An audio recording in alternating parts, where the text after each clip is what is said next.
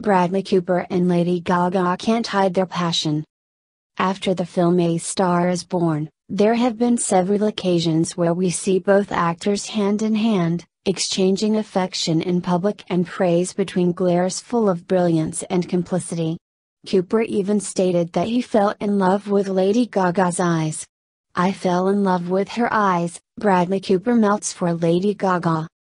All these expressions of affection are leaving the model and girlfriend of Bradley Cooper, Irina Shayk completely crazy with jealousy.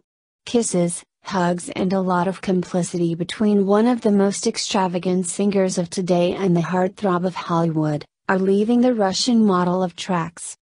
It's hard to recognize Lady Gaga, but the truth is that the woman who is embracing Bradley Cooper and passionately kissing her in the film is the most extravagant singer of the moment. And why is it so difficult to recognize the artist in the images that are running the world? Because she presents herself without the platinum hair and without her so loaded makeup. Something that Bradley Cooper demanded that she use little or no makeup in the film. The complicity between the well known Hollywood actor and Lady Gaga is notorious and does not go unnoticed by anyone, not even the experts in body language and who are meticulously analyzing all the gestures and looks exchanged between the two. In the film, in addition to making his directorial debut, Cooper plays a country singer whose career is already in full decline. In contrast, Lady Gaga gives life to a young woman who intends to succeed and, for this, has the help of the man she falls in love with. But when Bradley Cooper first met Lady Gaga, who he hoped to cast in his movie remake A Star is Born, things were a little bit different neither was on the market for romance.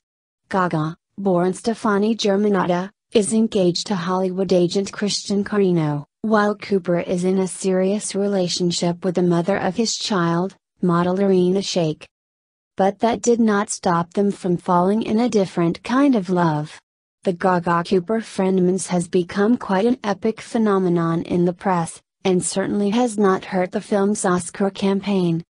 The platonic relationship that has formed between the two stars is simply enchanting.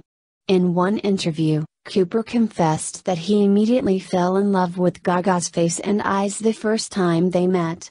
During a screen test in her home, Cooper used a wipe to get rid of all of Gaga's makeup, because she wanted to see her completely open. Real synchronicity due to their similar upbringing, Cooper revealed during an interview with Conan O'Brien. At the movie's Venice Film Festival premiere, Cooper lifted the veil Gaga wore with her dress and they even held hands. I love her so deeply, Cooper said about Gaga to Time. It's because we are at our most vulnerable together. The feeling is mutual.